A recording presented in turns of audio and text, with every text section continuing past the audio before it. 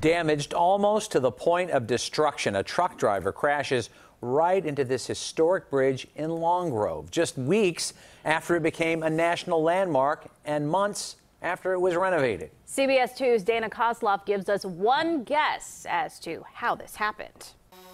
This was the view through the 30-year-old truck driver's windshield. Ahead, Long Grove's historic and newly restored covered bridge until it wasn't after he barreled his 15,000 pound truck right through it. Did you run up and say, What the hell? Yes, we did.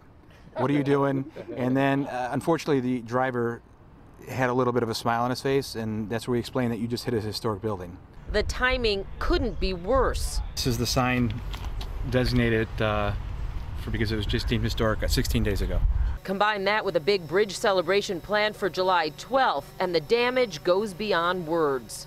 Just disbelief and really that feeling of being punched in the gut. So, did you come running out when it happened? We all did. Everyone around here. Ryan Messner says the trucker drove onto the bridge 9,000 pounds overweight after blowing a stop sign, ignoring three no truck signs, and then it gets worse. His comments, everyone was, I wasn't paying attention, I was looking at my phone. It left the Long Grove nostalgic distraught. I was just to walk over this bridge, so I guess it's a little heartbreaking. And others strolling up simply to pay their respects to the 112 year old fixture. When you see something that's sort of a, a beloved um, icon for you in, in whatever way, when you see that destroyed, that tugs on your heart.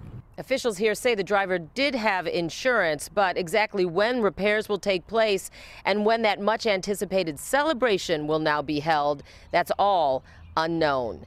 In Long Grove, Dana Kozlov, CBS 2 News. A Lake County Sheriff's Department spokesperson says 30-year-old Roberto Orozco was cited with four moving violations. He told residents it was his first day on the job, and the first might be his last. yeah, uh, that's one of those you want to get away moments. Oh my goodness! I think he wants to on get away. Phone.